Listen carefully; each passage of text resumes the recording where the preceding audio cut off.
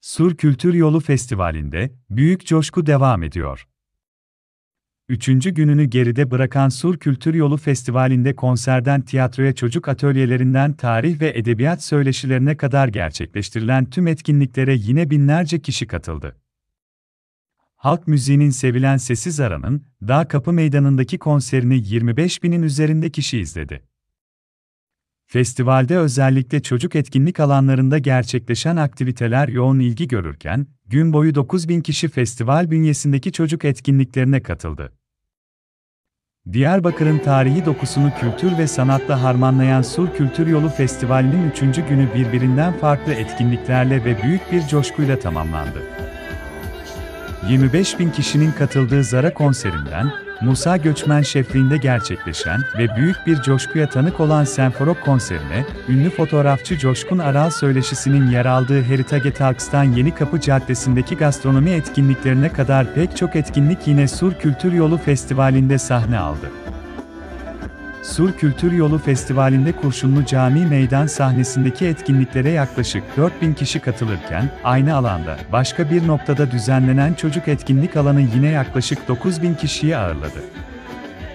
Ayrıca Yeni Kapı Caddesi'ndeki gastronomi ve sokak etkinlikleri, sergiler, Keçi Burcu etkinlikleri, Devrim Erbil sergisi, Gökyüzü Gözlem etkinliği, açık hava sineması ve iç kaledeki sergi ve etkinliklerde ise binlerce kişi festival keyfini yaşadı.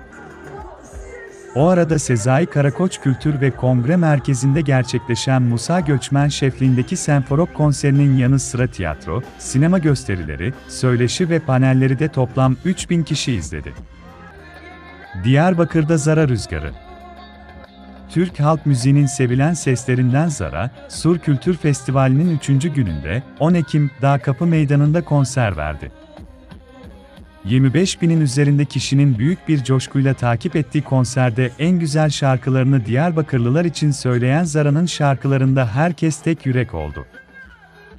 Konser kapanışını Bir Başkadır Benim Memleketim şarkısı ile yapan Zara'ya binlerce kişi eşlik etti. Zara'dan önce daha Kapı Meydanı'nda müzik severlerle buluşan isim Diyarbakırlı Türk halk müziği sanatçısı, Ufuk Özel'de meydanı dolduran izleyicilerden büyük ilgi gördü. Senforok Diyarbakır'ı coşturdu. Rock şarkılarını senfoni orkestrasıyla yeniden yorumlayan Senforok Orkestrası'nın Sur Kültür Yolu Festivali kapsamında Sezai Karakoç Kongre ve Kültür Merkezi'nde gerçekleşen konserine de binlerce kişi katıldı. Grup, söylediği yerli ve yabancı rock şarkılarıyla salonu tıka basa dolduran Diyarbakırlılara benzersiz ve keyifli bir konser yaşattı. Coşkun Aral ile miras sohbetleri iç kaledeydi. 10 Ekim'de Heritage Talks'unu ağırladığı isim ünlü fotoğraf sanatçısı ve muhabir Coşkun Aral oldu. Coşkun Aral meslek hayatı boyunca yaşadığı tecrübeleri paylaştığı söyleşide en unutulmaz anılarını dinleyicilere aktardı. Arkeoloji ve tarihi konuları odağına alan Diyarbakır Miras Buluşmaları 16 Ekim'e kadar devam edecek. Kanlı Nigar tiyatro oyununa kültür sanatseverlerden tam not. Geleneksel Türk tiyatrosunun en önemli figürlerinden olan Kanlı Nigar, bu sefer Trabzon Devlet Tiyatrosu'nun yorumuyla Diyarbakır'daydı. Oyun seyirci tarafından dakikalarca alkışlandı. Seyirlik oyun teknikleriyle dolu pek çok unsuru içerisinde barındıran Kanlı Nigar oyunu, tiyatromuzun eski ustalarına da bir selam gönderiyor. Mezopotamya Gastronomi Etkinlikleri Yeni Kapı Caddesi'nde.